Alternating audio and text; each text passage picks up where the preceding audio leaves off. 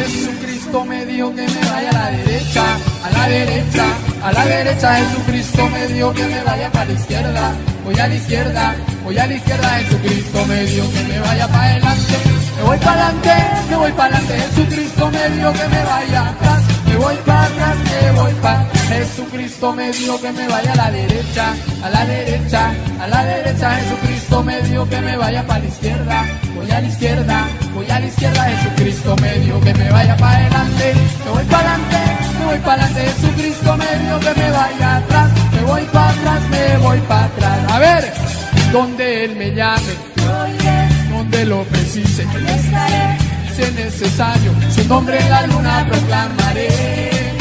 No importa la adversidad, no importa si el enemigo está, nada de temer, porque Jesús mi fortaleza es.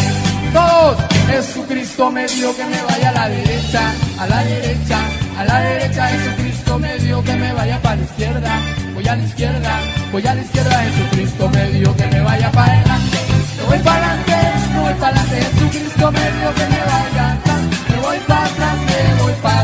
Jesucristo me dio que me vaya a la derecha, a la derecha, a la derecha. Jesucristo me dio que me vaya para la izquierda, voy a la izquierda, voy a la izquierda. Jesucristo me dio que me vaya para adelante, me voy para adelante, me voy para adelante. Jesucristo me dio que me vaya atrás, me voy para atrás, me voy para atrás. Donde Él me llame, donde lo precise, y si es necesario, su nombre en la luna proclamaré. No importa la adversidad, no importa si el enemigo está, nada de temer, porque Jesús mi fortaleza.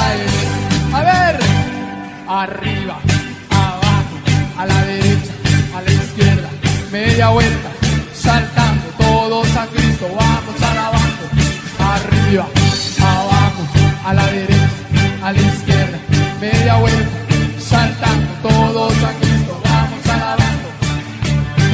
Jesucristo me dio que me vaya a la derecha, a la derecha, a la derecha. Jesucristo me dio que me vaya para la izquierda, voy a la izquierda, voy a la izquierda. Jesucristo me dio que me vaya para adelante, me voy para adelante, me voy para adelante. Jesucristo me dio que me vaya atrás, me voy para ustedes. Jesucristo me dio que me vaya a la derecha, a la derecha, a la derecha. Fuerte. Me vaya para adelante, me voy para adelante, me voy para adelante. Jesucristo me dijo que me vaya atrás, me voy para atrás, me voy para atrás. Donde Él me llame, donde lo precise, y si es necesario, su nombre en la luna proclamaré. No importa la adversidad, no importa si el enemigo está, nada de temer, porque Jesús mi fortaleza. Vamos a ver arriba arriba,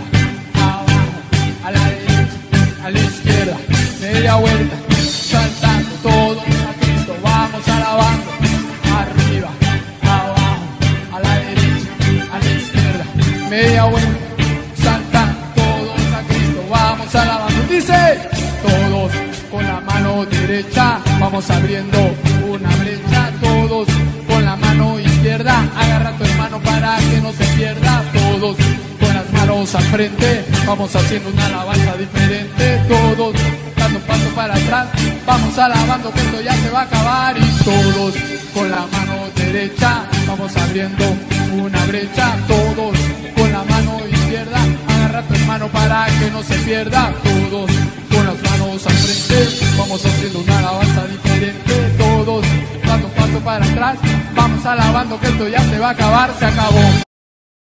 Lectura del Santo Evangelio según San Lucas. Un Jesús estaba orando y cuando terminó, uno de sus discípulos le dijo, Señor, enséñanos a orar como Juan enseñó a sus discípulos.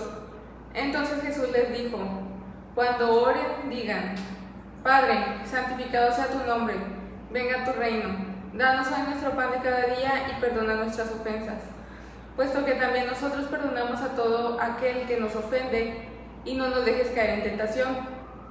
También les dijo, supongan que alguno de ustedes tiene un amigo que viene a medianoche a decirles, préstame por favor tres panes, pues un amigo mío ha venido de viaje y no tengo nada que ofrecerle.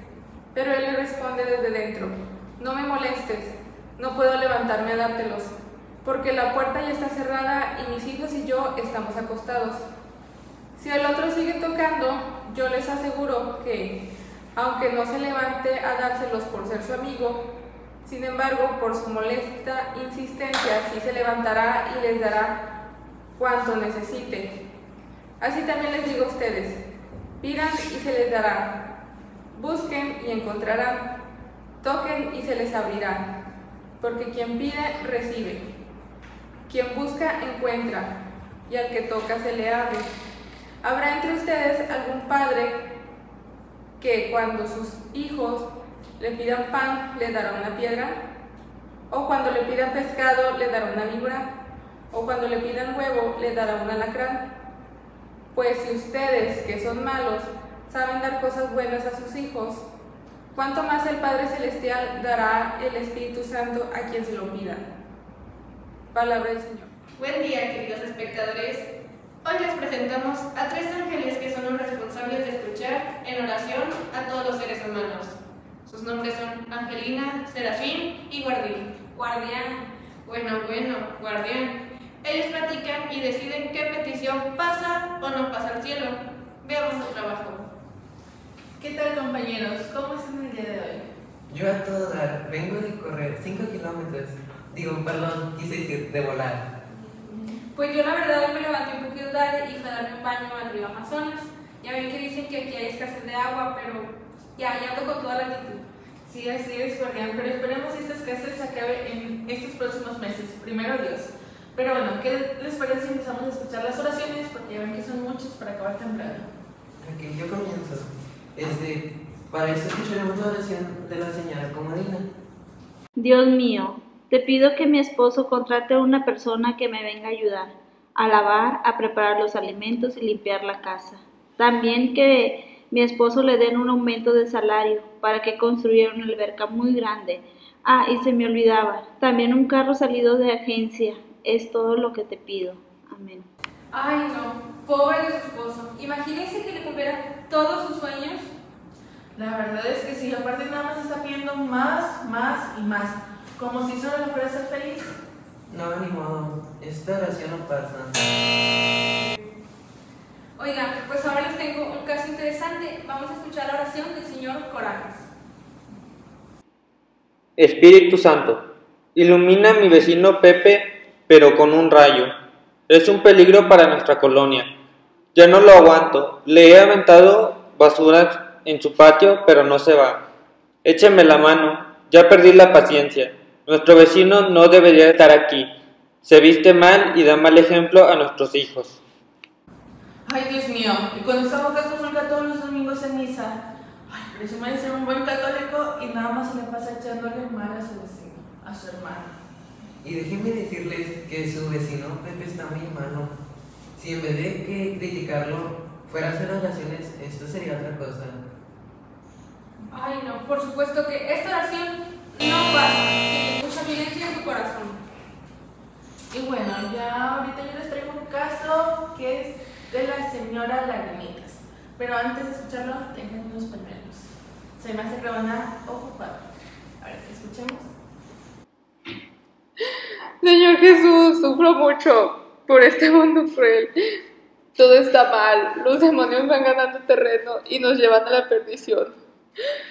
Somos todos pecadores que tocamos el lago del infierno y nos estamos achicharrando. Yo no debería vivir, me enfermo de todo, todos me tratan mal y nada me sale bien, no valgo nada. Ay, señora Lágrimas, me da miedo lo que dice, ya se me dieron ganas de llorar. Ay, no, este. Necesita un exorcismo, pero no el mundo, sino ella. Porque se va a enfermar pensando de esa manera, pensando, o sea, ¿qué le vamos a hacer? No, la verdad, tienen mucha razón. Ay, no. Y entonces podemos concluir que esta oración tampoco pasa. Oigan, nada está pasando así en el cielo. ¿Qué les parece si mejor tomamos un break? Sí, sí, sí, no venía preparada. Ah, guardián, tú siempre con tus bebidas. Oigan, pero pues ya ven que las cosas no están pasando, la gente se la complica mucho, pero pues ni modo. estas eh, peticiones nada más están pidiendo bienes materiales, están echando odio, hombre, nada más hacen que el mundo sea más gris. No piden nada espiritual, pero bueno, estas oraciones se quedan en la tierra. ¿Qué les parece si escuchamos al Padre Daniel para que nos explique un poquito más de las oraciones buenas?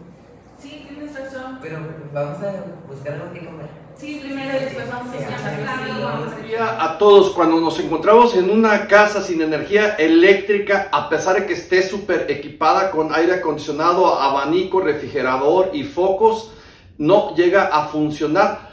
Por eso no es habitable, no está uno a gusto en casa. Es imprescindible, muy importante la energía eléctrica. Así también Dios en nuestra vida y en nuestro corazón es muy importante. Y en nuestra vida tenemos diferentes acontecimientos para que, suen- eh, para que resulte más armonioso, eh, darle sentido, tener felicidad.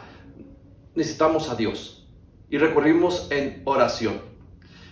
Vemos en la representación, en estos casos, que no fueron escuchados porque eran peticiones muy defectuosas, cargadas de violencia, egoísmo, sin compromiso, se pedía nada más por emergencia.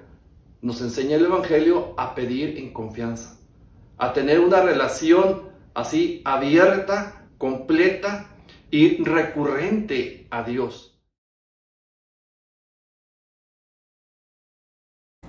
Pidamos, hermanos, el auxilio del Espíritu Santo para que inspire nuestras oraciones y ruegue las necesidades del mundo. Digamos, te rogamos, Señor. Te rogamos, Señor. por quienes somos parte de la iglesia y que Jesús ha encargado la tarea de orar por, nos- por todas las personas, hallando nuestras preocupaciones y sufrimientos. Roguemos al Señor Te rogamos, Señor. por las comunidades religiosas que dedican su vida a la oración, a la contemplación y al trabajo. Roguemos al Señor. Te rogamos, Señor. Los enfermos y los ancianos para que estemos cerca de ellos y no se sientan solos. Roguemos al Señor.